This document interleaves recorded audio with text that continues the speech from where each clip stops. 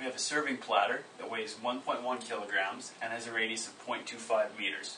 It has four spoons placed around the edges that each have a mass of 0.1 kilograms. And we're supposed to calculate the moment of inertia of this whole system. So to do this, we have to look at each individual component. We have the platter itself, which gives us a moment of inertia, and each of the four spoons, which gives us a moment of inertia. And we can treat each of these spoons as a point particle a certain distance away.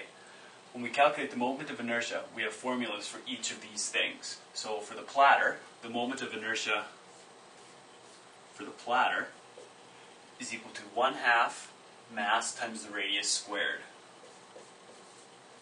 Mass of the platter, radius squared. So we, we plug in the mass of the platter of 1.1 and the radius of 0.25 meters squared. That gives us the moment of inertia of the platter. Some number here. We also have the moment of inertia of the spoons. So when you have a point particle a certain distance away from an axis of rotation, that moment of inertia is equal to the mass times r squared. For a, for a solid serving plate, it's 1 half mr squared. For a single point, it's mr squared. So for the spoons, we have mass of the spoon times the radius of the spoon squared. Now the spoon's set on the outer edge of the plate, so the radius is also 0.25 meters for that. Mass of a spoon is 0.1 kilograms.